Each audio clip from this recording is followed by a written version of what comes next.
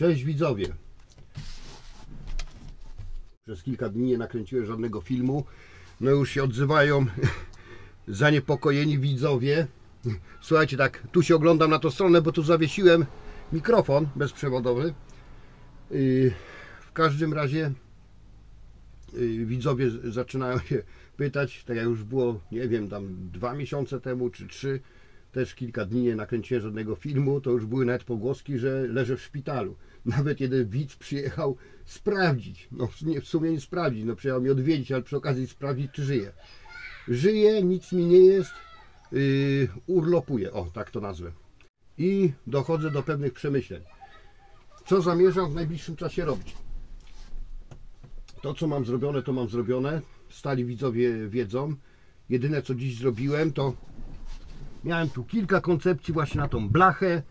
W końcu myślę tak, będę miał jeden y, przybornik taki, nie przybornik, jak to się mówi, kurczę, zawsze zapominam. Organizer, o, organizer. Tu będzie na tym, na jednym siedzeniu, y, drugi organizer będzie na drugim siedzeniu.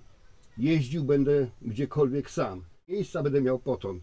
Więc y, tu nie będę już żadnych tam organizerów zakładał. Przykleiłem naklej do, mm, do wykładzin taki, taki tapicerski o w aerozolu. Bardzo dobrze on się spisuje. Tak samo y, izolację na to kleiłem. Fajnie to łapie.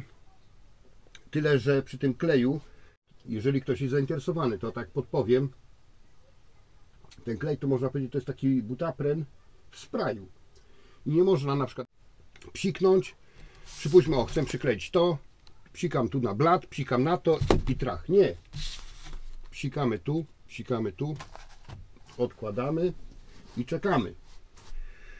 Z tego kleju muszą się uwolnić rozpuszczalniki. Jak on już będzie taki, no można powiedzieć, jak palcem się chwyci, będą się takie włoski robiły, no to, to, to trudno powiedzieć, czy to minutę, bo to wszystko zależy y, od temperatury powietrza, wilgotności, no ale około, można powiedzieć, minuty. I dopiero wtedy przykładamy, czekamy krótki czas i to już trzyma. Na razie ze spawaniem progów, y, progów tam wie, wiele mam jeszcze rzeczy, ale już to na zewnątrz jest, bo tu w środku mam wszystko pospawane. Mm, Na razie się wstrzymam, bo lada dzień dostanę drewno i to będzie mi człowiek tam przywoził. Nie wiem, nie wiem w jakiej tam amplitudzie, codziennie czy, czy co, co, co kilka, no raczej co kilka dni, bo, bo te drewno trzeba po prostu pociąć. Ja kupuję już, po, oczywiście ono jest suche, ale kupuję pocięte już na, na kawałki. One będą miały po 30 cm, tak akurat mi do kotła pasuje. I to jest dokładnie to samo drewno, które kupiłem w tamtym roku. Stali widzowie sobie przypominają w takich, w takich skrzyniach, można powiedzieć. Po prostu paleta, europaleta i takie burty nakładane i tam jest około metra. Ja nigdy nie wiem, czy to jest metr sześcienny, czy przestrzenny. W każdym razie tych metrów, bo y, do jednej wchodzi no niby ten metr. I ten człowiek jest w stanie tym samochodem y, przywieźć mi jednorazowo pięć takich tych, tych skrzyń. No to będzie robił 5 kurs, y, 4 kursy, bo zamówiłem 20 metrów i w każdym razie to nie, na pewno mi nie przywiezie tego w ciągu jednego dnia. Jak to przywiezie mi w ciągu trzech tygodni, czterech, to będzie dobrze, bo yy, no ten człowiek już taki jest w starszym wieku i no tak sobie dorabia yy, po prostu tym, na tym drewnie opałowym. Nie podejrzewam, żeby od rana do, do, do nocy ciął, bo klient czeka. Zresztą w tamtym roku tak samo, nie dostałem tego z dnia na dzień, tylko tak etapami przywoził. Y, Więc y, grubsze takie sprawy przy busie to na razie zostawię, gdyż będę tam, nie wiem, y, miesiąc czasu zajęty tym y, drewnem. No, do mojego zadania to będzie po prostu to wszystko przerzucić do drewutni. No ale to nie jest też tak hop przerzucić, bo ja to ładuję do taczki, wożę, później z taczki to rzucam. To, to, no, ten, co, ten, co po prostu ma drewno, drewutnie, no to on wie o co chodzi. To to jest, jeżeli chodzi o busa, Ktoś pewnie się dziwi, co tu robią wędki i co tu robi ta tajemnicza teczka. To Wam za chwilkę wyjaśnię. Y, Zanim kupiłem y, tę czwórkę, to może sobie przypominacie, wpadłem na taki genialny pomysł, że mm, będę poszukiwał y, bursztynu i pieniędzy i biżuterii na plażach. Wtedy się tak napaliłem, oglądałem te filmy o tych poszukiwaczach, Odyny, nie Odyny, ale wiecie co, po, nie wiem, bardzo, bardzo dużo tych filmów o- ogląda, oglądnąłem, do tej pory oglądam, ale teraz to się odbywa w ten sposób, że Odyn się wita, ble, ble, ble, coś tam mówi, no tam idzie z tym wykrywaczem, tam raz tą chochlą zagrzebie, czy coś tam znajdzie, pokaże drugi i ja już przewijam na, yy, na koniec, na podsumowanie. Yy, tak samo jego ojca. Po pewnym czasie po prostu mnie to zaczęło nudzić, a ja jestem raczej taką osobą y, zmienną i podejrzewam, że kupiłbym ten wykrywacz i jak szybko bym go kupił, tak szybko bym go sprzedał, bo mi się to znudziło. A co do bursztynów, to jest z tymi bursztynami to jest tak na, nagrywane taki, takie clickbaity mo, mogę nazwać.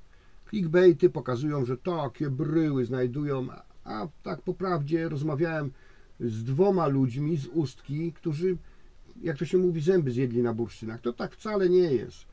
Takie wyprawy bursztynowe, no to, to trzeba, od, musi być odpowiednia pogoda. Najlepiej po sztormie. Musi być jakiś tam wiatr, tam północno-wschodni, czy tam nie wiem, nie będę kłamał, bo nie pamiętam. Yy, bo też zacząłem, zacząłem studiować ten temat. Yy, jakieś tam cofki, nie cofki, jakieś tam, nie wiem. No to nie jest tak hop że yy, co weekend sobie wsiądę i będę je, jechał i bursztynu szukał, bo, by, bo byłoby to bezcelowe, bo bym po prostu nic nie znalazł.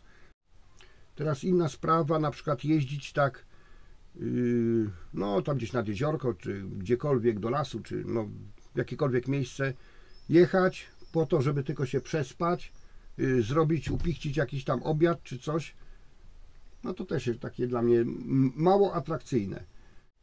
Ci, co oglądają y, kanał y, Marcel w drodze, to widzą, jak ostatnio się wkurza, bo gdziekolwiek się nie ruszy, to albo prywatny teren, albo zagrodzony, no albo po prostu, no to nie są te lata, jak ja pamiętam za swojej młodości, że człowiek gdziekolwiek pojechał, yy, no wtedy w, tam, w tamtych czasach to rzadkością było, żeby ktoś jakimś kamperem czy kamperwanem jeździł. Jeździło się po prostu pod namiot i to najczęściej namiot na plecy i, i w PKS. Ale można było się wszędzie praktycznie rozbić, nie było problemu. A teraz jest taka sytuacja, że jakiekolwiek yy, pastwisko, kawałek ziemi gdzieś nad jeziorem, gdzie jest jakieś kąpielisko, to co cwańsz od razu do urzędu gminy, dzierżawi ten teren i kasę tłucze, postawi sobie sławojkę, yy, przywiezie trochę drewna albo nie przywiezie, yy, skosi trawę, no i taki pobyt jedno, jednodobowy, no to jest w granicach, no to już tak, tak tanio, to jest 45-50 zł, bez żadnych absolutnie udogodnień. I tak się po prostu yy, ludzie wycwanili, że jakakolwiek woda, to to jest wszystko czyjś teren, znaczy oni mówią prywatne, to nie jest prywatne, to jest z reguły to jest yy, dzierżawione, to także nie można nazwać to terenem prywatnym, ale robią, ludzie robią na tym kasę, także w Polsce się robi coraz gorzej, coraz mniej ciekawie.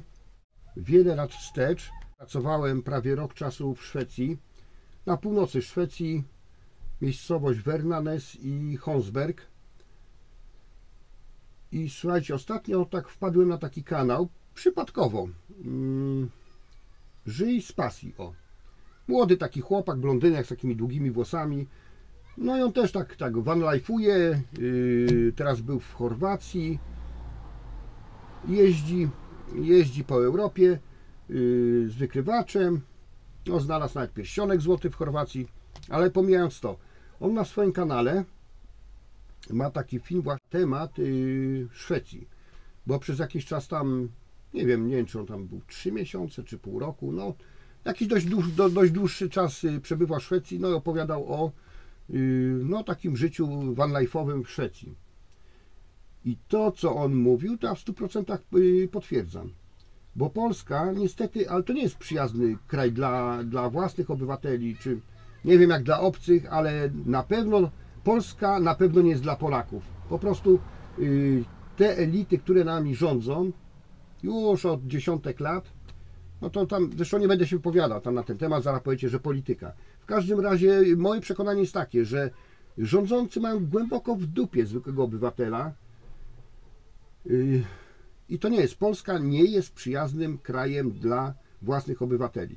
Wręcz można powiedzieć, że jest yy, wrogi, jest wrogo nastawione, bo u nas tylko tak przepisy, zakazy, nakazy, urze- urzęd, urz- urzędowe jakieś cuda, co już tyle lat mówili, że biurokrację skrócą. Absolutnie jeszcze, gorzej. Ale dobra, dajmy spokój tym patafianom. Y, Co do tej Szwecji. Na pewno jest 100 razy lepiej jak w Polsce, jeżeli chodzi na przykład o taki van life. I ja w przyszłym roku, bo w tym to już na pewno nie zdążę, ale w przyszłym roku y, planuję pojechać do Szwecji. Nie wiem, może, może ktoś będzie chętny, będzie, będzie może chciał ze mną. Nie stricte tu ze mną na jednym wyżej spać, ale no swoim jakimś samochodem, czy tam vanem, czy, czy czymkolwiek. Y, W każdym razie w przyszłym roku planuję mm, wyjazd do Szwecji. Nie wiem na, na jaki czas, ale stąd właśnie te wędki, bo będę tam wędkował. U nas tak porobiono. Wędkarzem jestem od, no, no od takiego, od takiego dzieciaka. Ale już powiem, od kilku lat nie. Yy, mam oczywiście kartę wędkarską, ale nie, od kilku lat nie opłacam składek, bo taki bandytyzm się zrobił. Kiedyś y, człowiek kupił sobie, y, wykupił znaczek tam pstrąg, bo to bo później wprowadzili tak zwane górskie, ale jeszcze wcześniej to był znaczek taki, nazywał się pstrąg lipień. To był właśnie do połowu, y, no, no w takich właśnie de facto rze- rzekach górskich. Lipieni, ryb łososiowatych, pstrągów. No pstrąg to też ryba łososiowata. I drugi był znaczek PZW. I zapłacił jedną składkę i to obowiązywało na cały kraj. A teraz to właśnie jak z tymi y, takimi kąpieliskami, jakimiś kempingami, tak się porobiło od, no już od dłuższego czasu, że wszystko tak porozdzielali między siebie, bo wiadomo, y, kasa, każdy grabi do siebie i teraz praktycznie nie ma czegoś takiego, że ja sobie wykupię y, znaczki na, y, zrobię te opłaty, opłaty y, na kartę wędkarską i pojadę sobie do Zamościa na ryby, do Gdańska czy do Szczecina. Nie, absolutnie nie. Teraz jest wszystko i jeszcze tak, co jest gorsze, że te łowiska w bardzo dużej mierze są skomercjalizowane. Że pomimo tego, że ja mam kartę, to i tak nikogo nie obchodzi, muszę zabulić, żeby sobie połapać, połowić ryby. No i, i co, co właśnie w Szwecji mi się podoba? W Szwecji mi się podoba to, że nie, nie trzeba mieć tam żadnej karty wędkarskiej. Większość łowisk są, większość łowisk jest darmowych. Y, Cała strefa ta, y, y, y, zapomniałem jak to się nazywa, y, przy Bałtyku, gdzie można nawet szczupaki łapać, w Bałtyku, y, jest zupełnie darmowa. I większość właśnie takich dużych, dużych, y, dużych jezior jest tak samo darmowa. Jest ileś tam łowisk, to można sobie sprawdzić, po prostu jest wykaz, można sobie sprawdzić. Ja gdzieś miałem zapisane, ale poszukam. Y, Można sprawdzić, naprawdę w większości przypadków y, nie potrzeba żadnej karty, żadnych opłat. Są też właśnie takie no, skomercjalizowane łowiska, gdzie są wymagane opłaty, ale porównując, porównując opłaty w Szwecji, opłaty w Polsce, to naprawdę to Polacy to chyba żyją lepiej jak na Skandynawii, bo tyle trzeba płacić. I taką opłatę nie trzeba gdzieś jechać do prezesa związku czy gdziekolwiek. Można normalnie aplikację na komórce sobie wbić albo na CPN-ie wykupić. Z tym nie ma problemu. To samo jest w Francji. We Francji można sobie dosłownie w sklepie, w supermarkecie wykupić licencję na, na dzień, na miesiąc, na, na cały rok. A u nas to prezes, skarbnik, wiecie, cała ta, ta ekipa, żeby siedzieć przy korycie. I planuję właśnie tak, pojechać sobie do Szwecji, wziąć sobie wędki, tam sobie pojeździć, połowić. Ale chcę Wam też coś pokazać, czym zajmowałem się też już wiele, wiele lat temu. To już mi tylko zostały po tym pamiątki. Wezmę tu, ustawię te nagrywadło, ale muszę zaraz, muszę to obniżyć.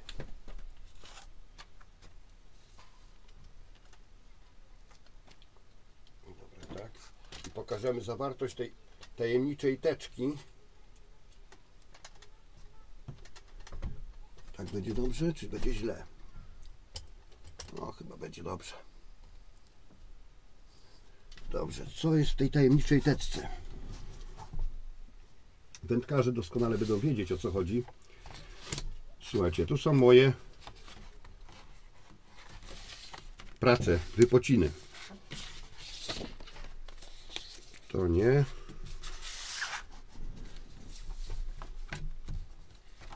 Takie, takie oto rzeczy. To było rysowane, to było rysowane własnoręcznie w dużej skali, później to pomniejszałem. To robiłem na Corelu, taki program graficzny. Tu jest, tu jest, no to jest oczywiście szczupak. Tu jest y, imitacja takiego okonia. Tu mam jeszcze bardzo dużo mi zostało. O, widzicie? Tak to robiłem.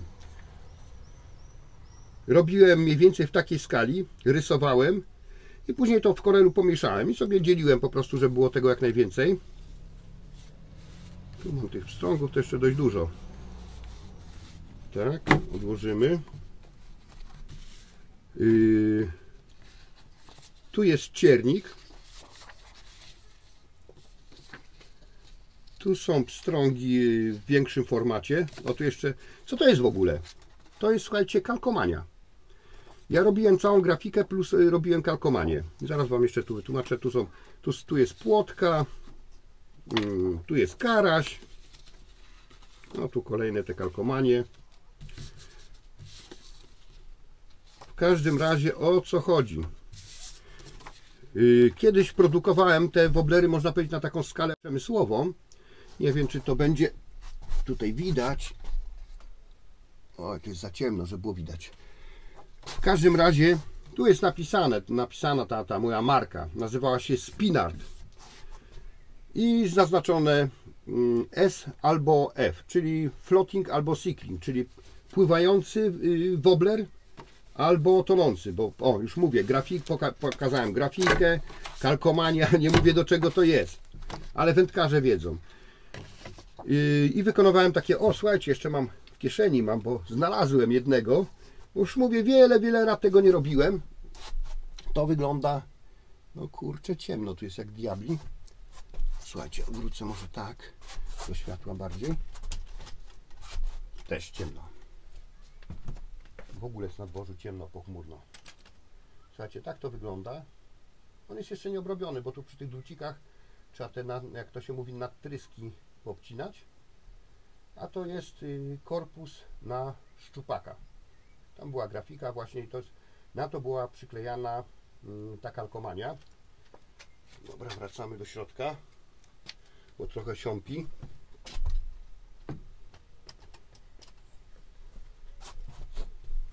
O, pokażę Wam. O, to jest właśnie do tego woblerka jest właśnie ta, ta kalkomania. Była przyklejana lewa i prawa strona. I tak sobie myślę. Dobra, pokazałem, to już nie musi tutaj świecić na ten stół.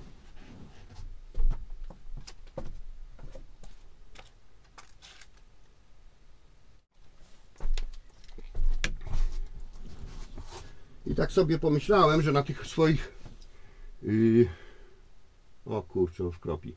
Na tych swoich vanlife'owych, raczej yy, vanlife'owo-wędkarskich yy, przygodach będę pokazywał jak sobie tam, no wiadomo, coś sobie upiszczę, coś tam zrobię, yy, ale przede wszystkim łowienie ryb, ale to w przyszłym roku.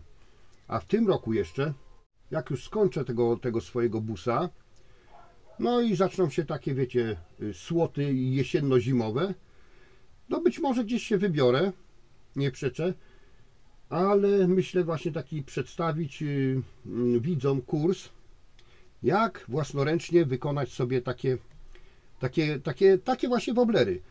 Ja robiąc te woblery, to miałem po prostu, one niczym nie odbiegały od tych fabrycznych. No, no można, no to nie była fabryka, bo to była, można powiedzieć, manufaktura. I dlaczego ja w ogóle z tego zrezygnowałem, z y, produkcji tych woblerów? Zrezygnowałem po prostu przez polski dziki rynek handlowy. On do tej pory taki jest, albo może jeszcze gorszy jak kilkanaście lat temu. Wkurzało mnie to, że to mnie kosztowało bardzo dużo pracy, nie pamiętam jakie wtedy tam były ceny, ale przypuśćmy, no tak, y, dla zobrazowania. Y, Sprzedawałem na przykład te woblery, no taką było z, z, z właścicielem sklepu, czy tam hurtowni trzeba było ustalić cenę. I na przykład, no przykładowo, przykładowo, bo mówię, nie pamiętam tych cen, jakie były. Y, Za gotowego woblera, oczywiście on był y, uzbrojony w kotwiczki, był za, zapakowany, przypuśćmy, taki właściciel sklepu mi płacił 2 zł. I to mnie strasznie irytowało, że przychodzą do tego sklepu za jakiś czas, widzę, że te moje, moje woblery, nie, za które ja dostałem 2 złote, u sprzedawcy były na przykład po 12 zł. I to mnie strasznie wkurzało, że no po prostu człowiek y, zapieprzał na nich po prostu jak, jak, jak głupi osioł, tak jak, jak teraz rolnicy, że taki rolnik na przykład, nie wiem, wy, no nie wiem, rzodkiewkę posadzi, dostanie tam, nie wiem jak to tam liczą, na kilogramy, dla pęczki czy jak, ale no przypuśćmy tą rzodkiewkę za tonę rzodkiewki, to też to tak, tak mówię, teoretyzuję, dostanie przypuśćmy 100 zł. Trafia to do sklepów i ta tona tej rzodkiewki w sklepie w sumie jest sprzedana nie za 100, no wiadomo, że muszą mieć jakiś zysk, Yy, ale yy, kupili za 100 zł, a sprzedają przypuśćmy za 1000 zł. Tak, na, na tym u nas polega, polega handel, że kupić, no to jest, to jest normalna, to jest norma w handlu, że kupić jak najtaniej, a sprzedać jak najdrożej. Ale u nas to jest po prostu takie no, zwyczajne przegięcie pały. I po jakimś czasie zrezygnowałem z tego, bo mówię, nie będę, nie będę złodziei dorabiał. Tak samo właśnie jak, jak była historia w tamtym roku, co mi tak ludzie zarzucali, co ty gadasz, to przez Putina, to przez tamtego, to przez wojnę, to przez jakieś bz- bzdura, to jak, jak mówiłem, spekulanci. Oczywiście wolny rynek. Kiedyś to by było karane, teraz każdy może sobie kupić, nie wiem, tonę y, węgla, y, kupić za 500 zł i sprzedać za 5000. No, je- jego po prostu takie prawo. Ale mówię, na przykład jak w tamtym roku były te historie z opałem, to było czyste spekulanstwo. y, Można powiedzieć tak, można powiedzieć zmowa, zmowa cenowa producentów, y, eksporterów i w ogóle tych ludzi, co się zajmowali opałem, bo zwróćcie uwagę, że najpierw zaczął drożeć węgiel, później zaczął drożeć brykiet, później zaczął drożeć pelet, co wcale trociny do góry nie szły widzieli, że, że za węgiel można wziąć 3000, no to mówią, z jakiej racji my będziemy sprzedawać na przykład po y, 600 czy 800 zł tonę, też weźmiemy 3000. Na tym to wszystko polega. Więc y, oprócz y, spraw związanych z moim busem, chcę też prowadzić takie, taki kontent, y, można powiedzieć, wędkarski, pora, poradnikowy. Właśnie jak, jak zrobić sobie woblery, jak sobie zrobić bły- błystki wahadłowe, y, błystki obrotówki, czy tam inaczej, z, z, inaczej zwane y, wirówki, prozaiczne sprawy, jak wiązać haczyk, jak naprawić kołowrotek, jak y, naprawić złamaną wędkę, jak przywiązać, jak zrobić omotkę na przelotkach, przeróżne takie rzeczy związane z wędkarstwem. Trochę tej wiedzy posiadam, więc mogę się podzielić z innymi. No i to tyle chciałem powiedzieć, jak na dziś. Cześć, zapraszam na kolejny film. Słuchajcie, jak to u mnie często bywa, to co chcę powiedzieć, najwa... najważniejszego, to o tym zapominam. Ale w czas mi się przypomniało. Yy, pomijając wędkarstwo i tam inne aspekty yy, życia i przebywania w Szwecji, to jest jedna yy, największa zaleta, że tam można sobie kamperem stanąć, parkować, przebywać gdzie praktycznie się chce. Czy to las, czy to jezioro. Tam nie, nie robi nikt jakichś debilnych y, przeszkód. Tam jest taki prze, przepis, że praktycznie można nawet namiot sobie przed Pałacem Królewskim rozbić. To nie jest taka palanteria jak u nas, że kraj jest nie dla ludzi, tylko dla rządzących. Tam nie ma z tym problemu. Możemy sobie stanąć gdzie chcemy. Ja z swojego doświadczenia pamiętam, że yy, będąc w tej Szwecji, ja oczywiście nie byłem tam turystycznie, ja tam pracowałem. Łowiłem ryby. No, człowiek na jakiekolwiek jezioro yy, by pojechał, to stały na brzegu łódki, odwrócone do, do góry y, dnem. Pod spodem leżały wiosła. Nie zdarzyło się, żeby jakaś łódka y, była przypięta na jakiś łańcuch czy coś takiego. Nie, absolutnie. Człowiek brał sobie pierwszą lepszą łódkę, jaka stała, wsiadał, wiosła, płynął sobie na jezioro, skończył wędkowanie, z powrotem łódkę y, wciągnął do góry dnem, wiosła pod spód. Nie było żadnego problemu. To nie, Szwecja to nie jest Polska. Prawdopodobnie tak jest w całej Skandynawii, a z krajów skandyna- skandynawskich byłem tylko w Szwecji i w Danii. Ale to jest tam, to, to są właśnie kraje, o nawet, y, słuchajcie, jak mówi się o Finlandii, że Finlandia to jest biedny kraj bogatych ludzi. Tak, tam po prostu się ludzi traktuje jak ludzi. Nie to co w Polsce, bo Polska, to ja wam coś zaraz pokażę. W Polsce nie było, nie ma i nie będzie żadnej przyszłości. Ja już to nie wierzę. Jestem, no można powiedzieć, za stary trochę, żeby, żeby gdzieś emigrować. No chociaż powiem Wam y, szczerze, że tak myślę, że jakbym był już na emeryturze, jak oczywiście dożyję, sprzedać wszystko, chałupę, wszystko, kupić sobie gdzieś mały domek, gdzieś, nie wiem, w Portugalii, czy nawet w Szwecji, gdziekolwiek, gdziekolwiek daleko od Polski, bo w Polsce młodym ludziom powiem takie coś, to jest takie hasło. Przeczytajcie sobie. Podobnie, cześć, do następnego razu.